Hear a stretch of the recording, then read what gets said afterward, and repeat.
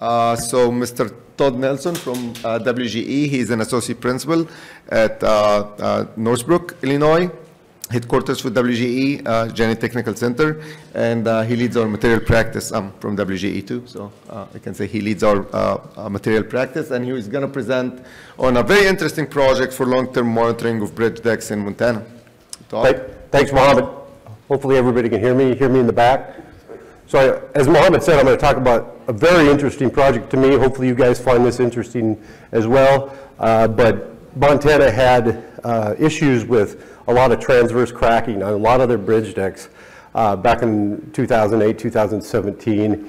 And we were fortunate enough to get an applied research project for them, which started in late 2019. And part of that was uh, monitoring of one of their bridge decks. A- As part of our investigation to figure out why uh, they had so many issues with transverse cracking, we actually got to monitor one of the bridge decks. And I'll, you know, talk a little bit about that uh, as we go. But what was the problem? So the, the problem was associated with uh, transverse cracking and, and pretty severe transverse cracking with the, the spacing of the transverse cracks um, sometimes uh, two to three feet apart. But in, in three or four cases, within a couple years after the construction of the bridge, we actually got a through-hole penetration in the deck. Now, uh, I don't typically want to see that in a couple years after I build that deck, right? Um, nor 20 years down the road, right?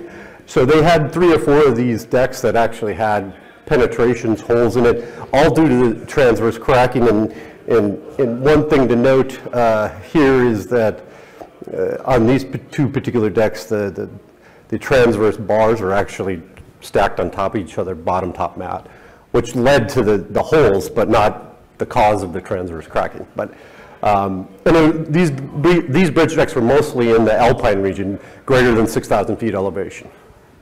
In the eastern part of Montana, they didn't see these issues. for, the- for those who are, live in the eastern Montana. So this is another picture. This is another one they had a through-hole penetration because of the uh, transverse cracking. The left is the top side, obviously. The right is the bottom side. Uh, You can see pretty severe transverse cracks, spacing two, three, four feet apart. And underside, you can see uh, the two penetrations. Again, the bars are lined up top and bottom mat. And normally, when- when I'm in uh, Montana and I see the nice, beautiful blue skies, it's a good thing, except when I see it through my bridge deck, right? So they had concerns, they had problems, they reached out to us, but, you know, uh, we need some help understanding why. So we did a full investigation. We'll obviously concentrate more on the instrumentation part of this. We did document review, uh, which included a lot of the information related to each of the bridge decks. So when it was constructed, what mix design was used, span length, uh, bearing type, uh, location and the geographic location, everything we could get about the bridge decks to hopefully try to correlate that to the performance of the bridge. Uh, We did field inspections, we'll talk about a little bit. We did instrumentation um, uh, on one bridge deck, representative bridge deck. We did some laboratory testing uh, on representative Montana mix designs, the mix designs they typically use. And then we did uh, some finite element, and we'll talk about that as well. So we did have the opportunity to look at 14 bridge decks. These were all bridge decks that they had classified as having uh, more transverse cracking than what they're, what they typically see. Uh, So we did do crack mapping like we always do, right? We calculated cracking density and severity, and we'll talk a little bit more about what that means. Uh, We did a delamination survey, so your typical chain dragging of the entire bridge deck. Uh, We did ground penetrating radar uh, on the entire deck to determine cover, spacing, make sure it was constructed consistent with the the drawings.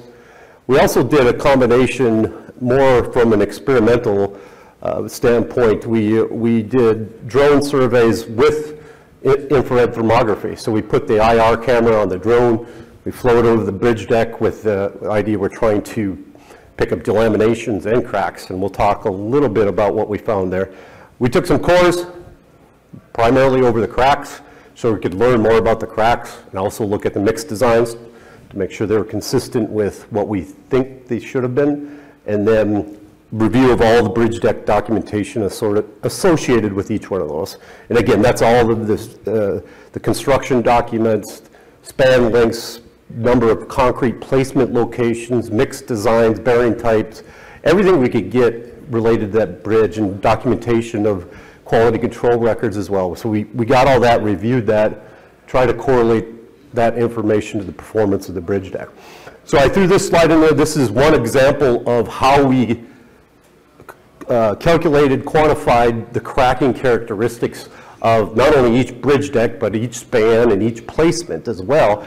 And we, we assigned a visual rating to each bridge deck, each span, um, and then uh, we calculated a cracking density, which I call it, and uh, that's essentially the cracking frequency. How many cracks do you get per area? It's sort of informative, but we took it a step further, crack severity.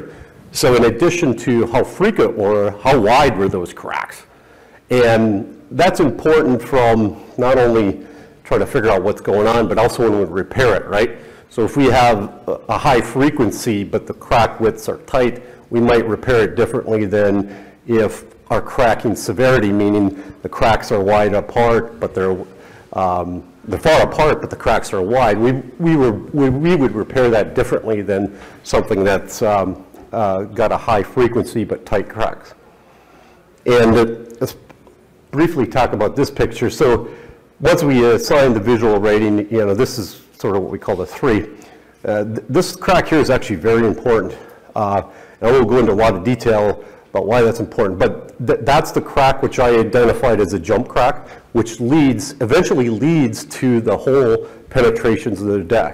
So that's a crack that jumps from one transverse bar to the next transverse bar, and then when you have a situation where those, um, uh, those bars line up, you get those hole penetration.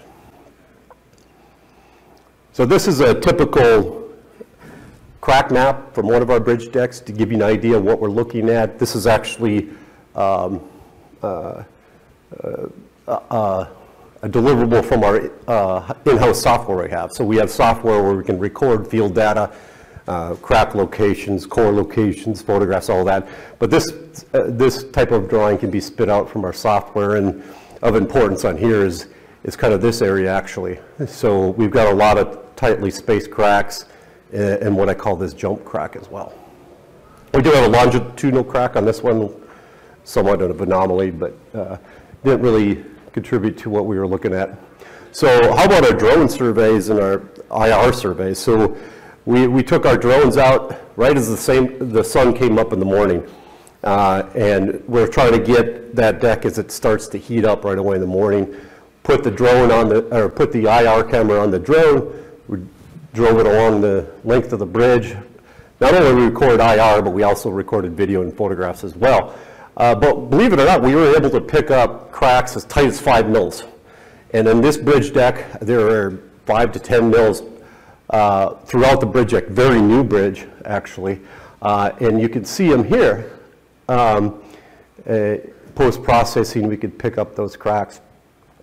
And uh, with that data, we can, we can calculate that crack density, right? So we can calculate the frequency, but we can't calculate the severity. So it's only useful to some extent, but we were fairly happy with the idea we could pick up these cracks, to be honest with you. Uh, we didn't pick up any delaminations, by the way, which, which, was a good thing, and, and, not all that surprising considering it's, these bridge decks were less than eight years old, so uh, we wouldn't expect any corrosion-induced delaminations yet. Um, so in summary of our field inspections, uh, we found no delaminations. Uh, the transverse cracks were always aligned with the reinforcing steel, somewhat expected, right? That's the path of least resistance when, when we have volumetric changes. And more importantly, this is kind of a long sentence, but we didn't find any trends, uh, any correlations of the, the cracking severity as it relates to the, the bearing type, the span length, uh, the placement location, placement length, um, which is a little bit surprising. You know, a lot of times we'll see uh, more cracks uh, in the negative moment region compared to the positive moment region and all those sorts of things, but there was no solid correlations in terms of what they were seeing. But we did, we did identify some of the cracks as being very early age. When I say very early age, it might be different than other people, but when I say very early age, they likely occurred between four hours and 14 days after placement. And I'll talk a little bit why, uh, why that is. Um, and then we saw some indication of later age, development of those cracks as well. And how did we determine that?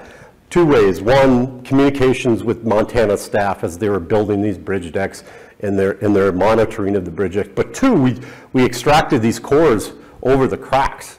And when we do that, we can get a general indication when that crack formed. And that was useful to provide information to us to identify when that crack occurred. Um, and then ultimately uh, understand why. So the instrumentation, we, we, we, we installed instrumentation uh, on a bridge deck in the Alpine region. This was close to Butte. Uh, it was done in the winter. Um, but this, all this instrumentation was installed prior to construction of the bridge deck because we wanted to capture um, the early age internal strains, the early age temperatures, the early age relative humidity. So we installed vibrating wire strain gauges, thermocouples, thermistors in this deck, internal relative humidity, which is not often done in bridge decks, but we got some very useful information. We also had a weather station out there because we felt weather was a major influence on these transverse cracks. So we had a weather station out there, monitored temperature, uh, wind speed, re ambient relative humidity, solar radiation, which all that information was used later in the modeling, which we'll talk about. Um, very, very interesting stuff, very, very fascinating to me. So this shows a, a plan view of the bridge deck that we instrumented, and we, uh, we instrumented placement location seven. Uh, a lot of bridge decks are placed in multiple placements, just like this one was. Um, we, we had strategic uh, goals with using placement seven, but this deck, as you can see, they alternate placement locations, and that's pretty common practice.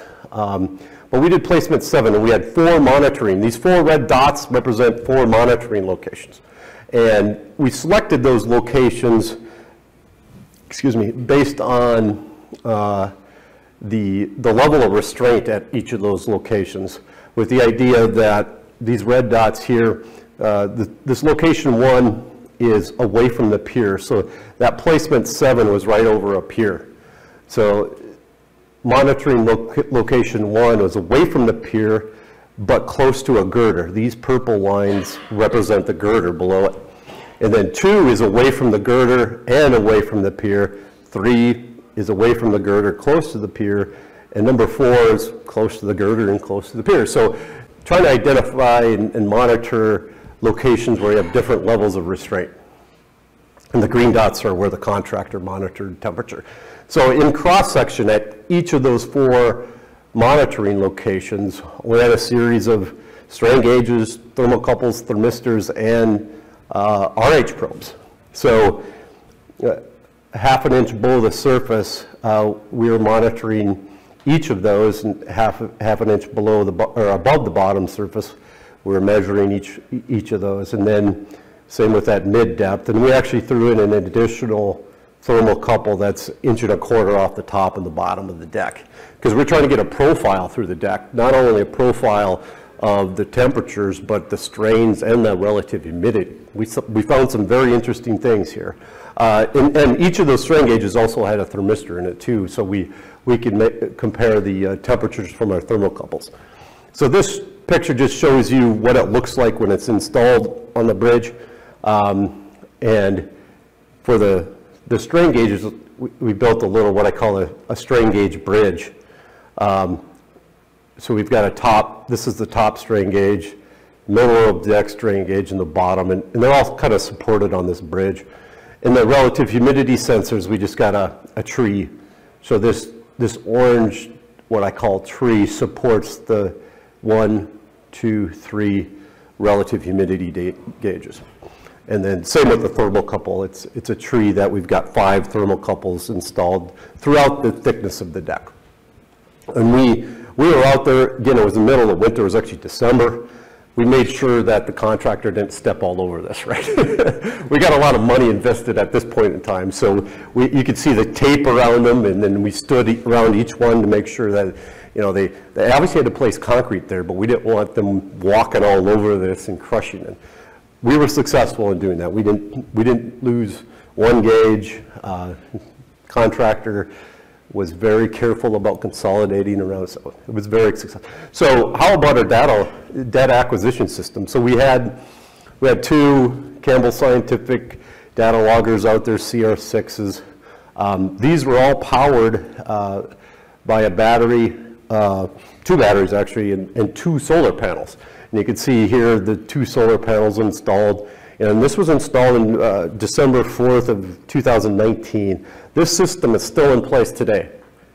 Still recording every single gauge. We have 48 gauges that, that we're running. We're still recording them all.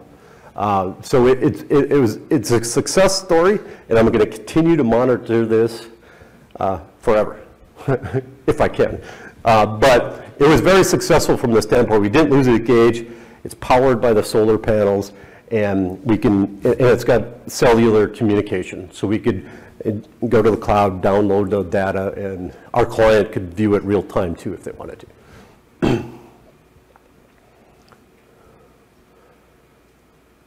So let's take a, a, a little bit of a dive on some of the data we collected from the instrumentation. And I think I got four or five slides here. We can't look at everything, but this one is very important um, and probably something most of us know. But uh, this, this particular chart here is actually, oops, sorry.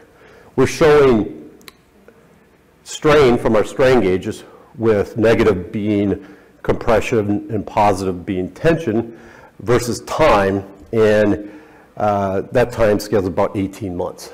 Um, and, and in terms of the strain gauges, the, uh, this blue one, 4-1, is at the bottom, green is the middle, and red is top.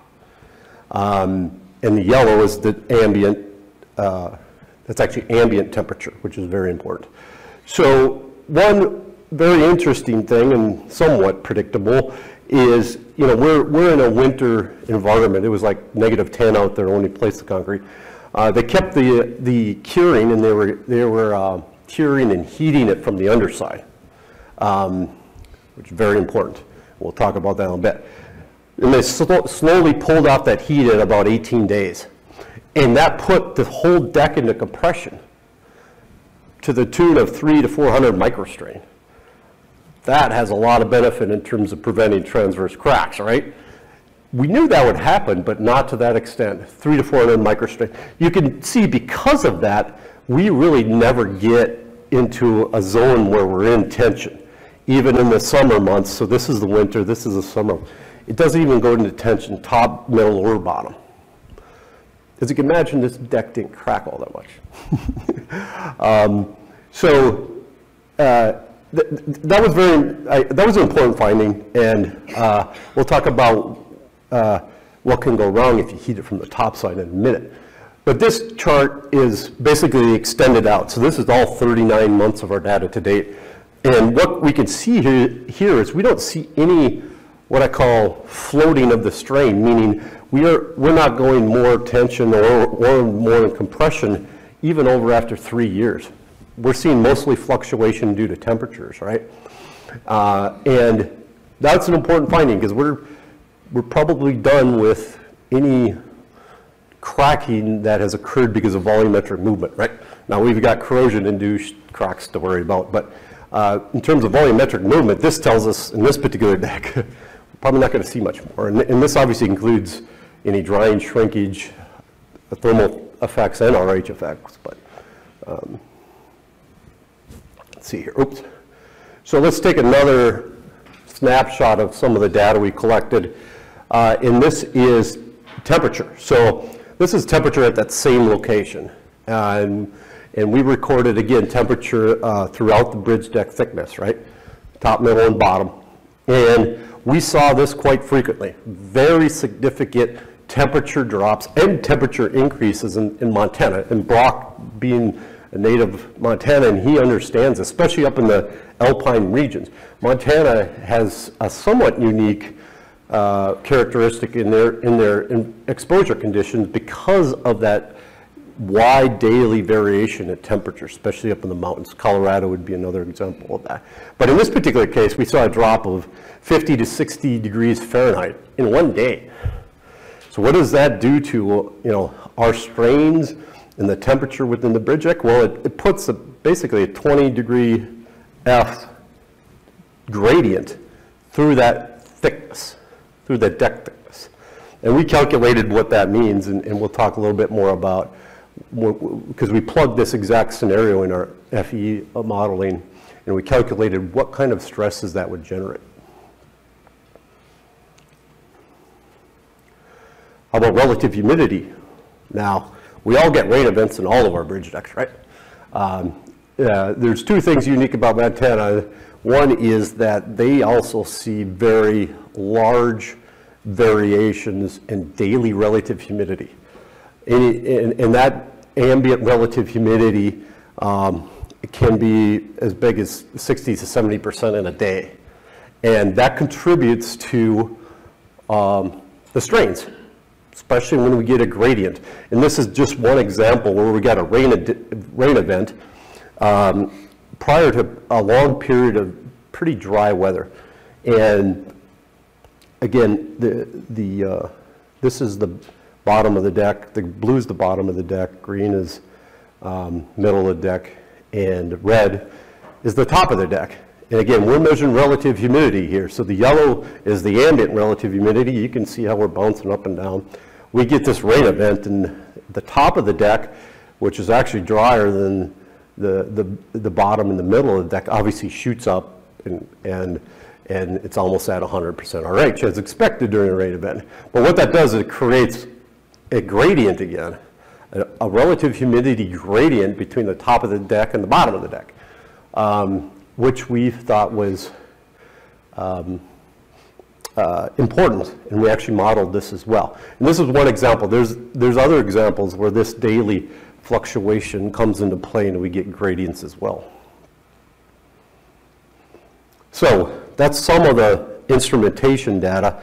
Uh, the next step in this is we actually did some laboratory testing on uh, typical Montana mix design. So we got all the raw materials um, uh, and they, uh, they sent us all the raw materials. In Montana, they could use, they actually, in some of the cases, they use a very, very hard, uh, silicious, uh, uh smooth river run aggregate, right?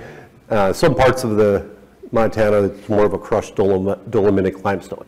So we did test on both those, but um, this, the idea of this is we could kind of capture the characteristics of the mixes they typically use, and also use that information to input in our model. So we measured compressive strength, flexural strength, modulus of elasticity, uh, uh, pretty much everything you can think of, flexural strength. We all did, we did that versus maturity.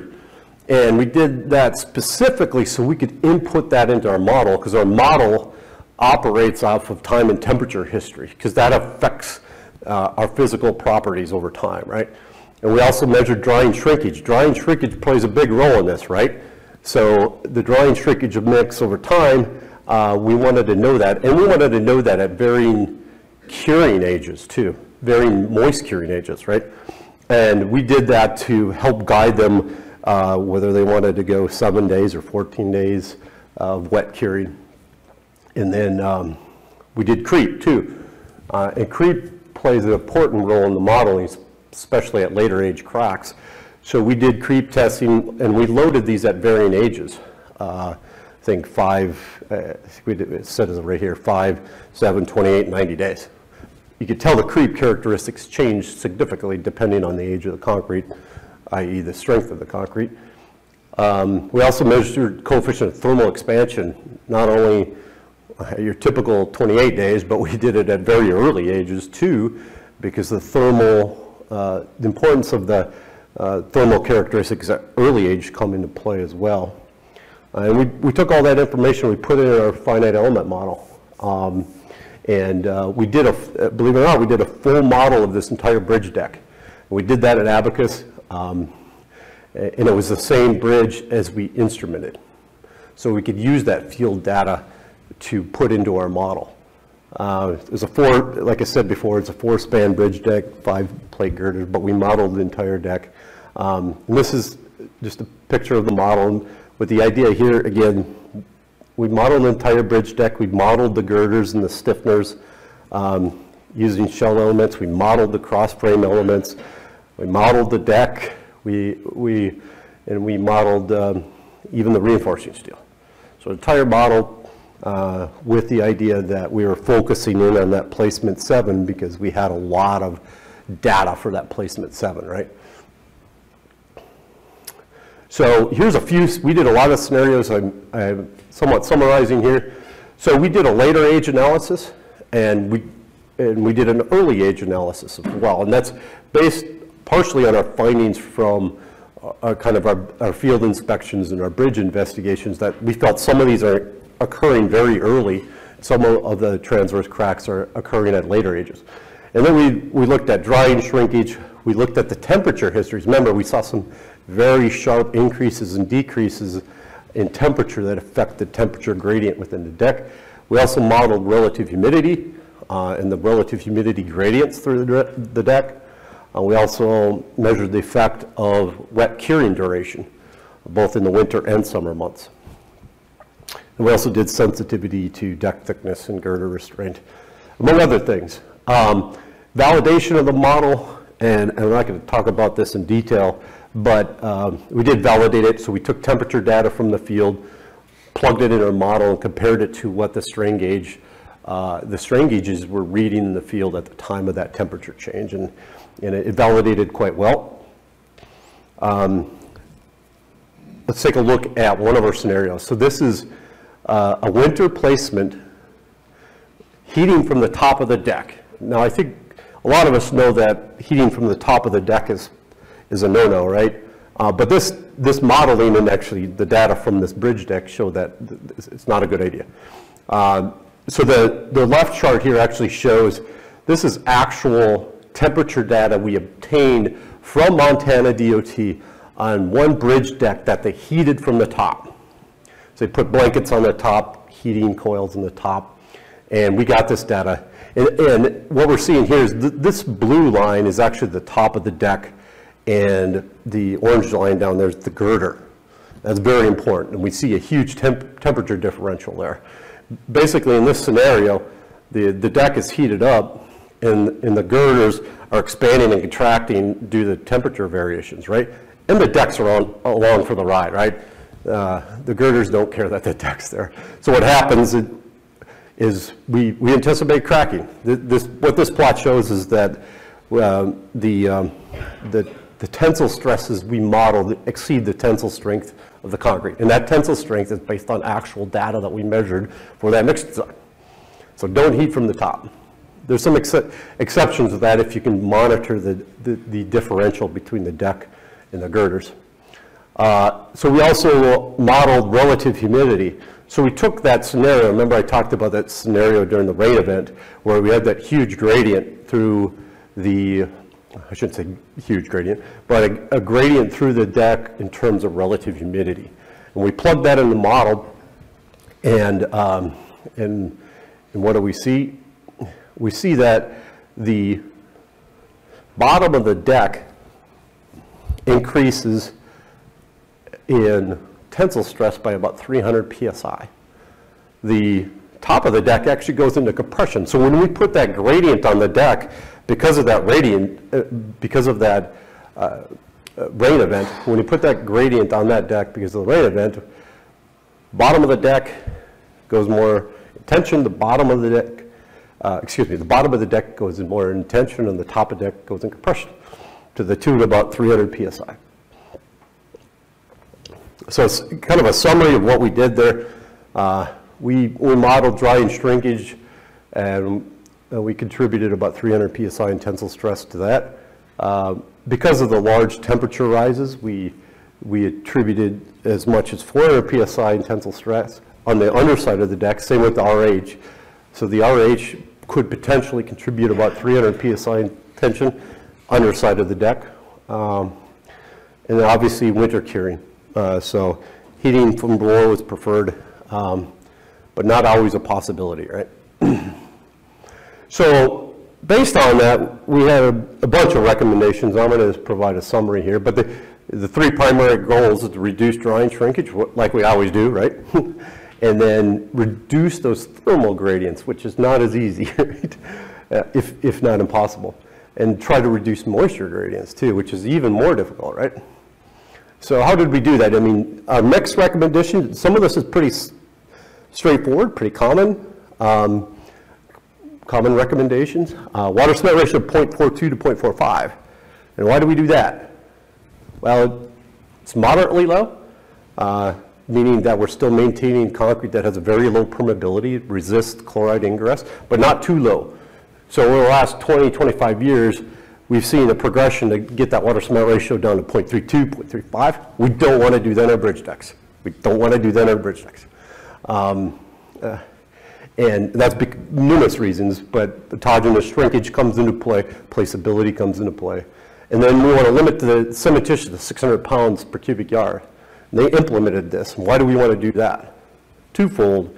One, since we've dialed in our water cement ratio, limiting the cementitious limits our drying shrinkage potential, right? In addition, this requirement also limits the thermal signature of that concrete mix. And that comes into play for the early age development of transverse cracks. If we can lower the thermal signature of that mix, then during the thermal cooling phase, we'll see less tensile stresses in that bridge deck. Especially in Montana, when those, when the peak hydration corresponds to the night cooling, if those two line up, we modeled significant stress gains in that early age concrete that could cause those transverse cracks, and we saw that. So this limits the thermal signature, the use of cement or slag cement of fly ash, same thing. It limits our thermal signature. It also decreases our permeability. It is also green. Lowers our carbon uh, footprint, right? Lower plastic concrete temperature for obvious reasons. Um, And then we recommended optimization of the gradation because when we limit that cementitious, there may be some issues with cohesiveness of that mix, placeability of that mix, and pumpability of that mix. So uh, optimization, we recommended uh, various techniques to do that. And the largest top-size aggregate po- possible, and that, and that's not only relative to the cement content, but when we have larger aggregates, we can reduce drying shrinkage because of the size and shape.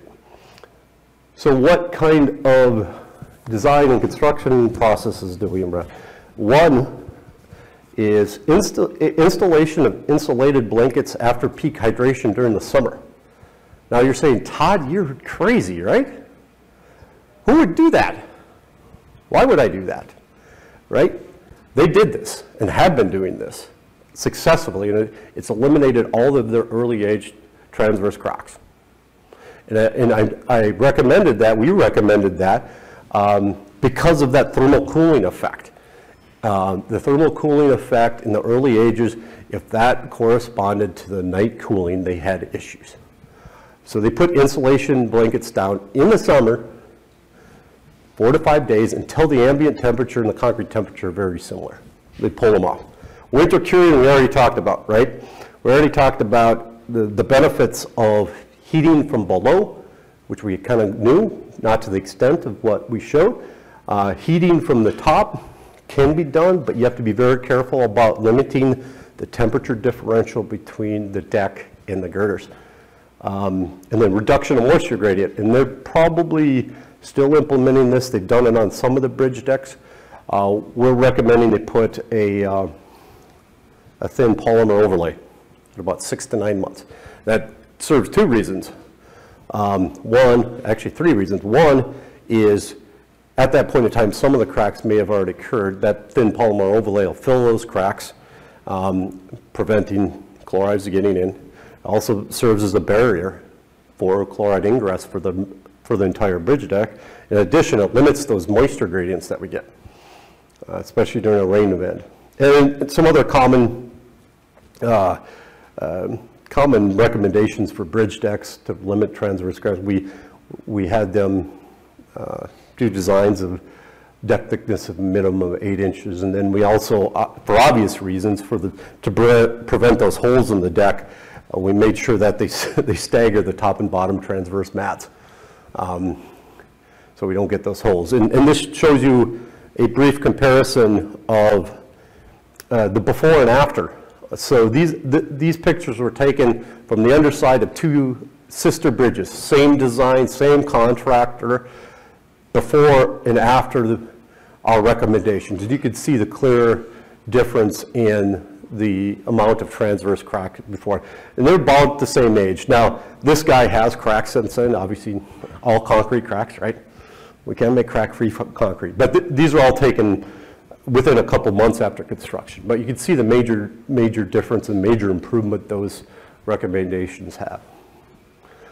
And with that, I'll open it up to questions. I would like to thank, uh, I don't think any of my colleagues are here, but Elizabeth Wagner, Jack Dye, Paul Krauss, Mohammed himself here, he helped me with the instrumentation, and Isa, who did all the the modeling for me.